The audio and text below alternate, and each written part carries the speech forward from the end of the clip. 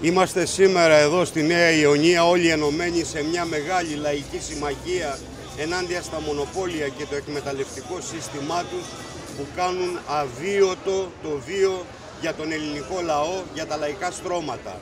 Παλεύουμε οργανωμένα ενάντια στην ακρίβεια για αυξήσεις μισθών, για αυξήσεις συντάξεων, για αφορολόγητο όριο στα 12.000 ευρώ, να σταματήσει αυτή η φορολιστία, να καταργηθεί ο φόρος προστιθέμενης αξίας να, στα είδη πλατιάς λαϊκής κατανάλωσης, να καταργηθεί ο ενιαίος φόρος κατανάλωσης στα κάψιμα, να καταργηθεί ο ένφια, να πάψουν εδώ και τώρα οι πληστηριασμοί και βεβαίως να υπάρξει γενναία κρατική χρηματοδότηση από τον κρατικό προϋπολογισμό στον τομέα της υγείας, της πρόνοιας, της παιδείας για τα παιδιά μας.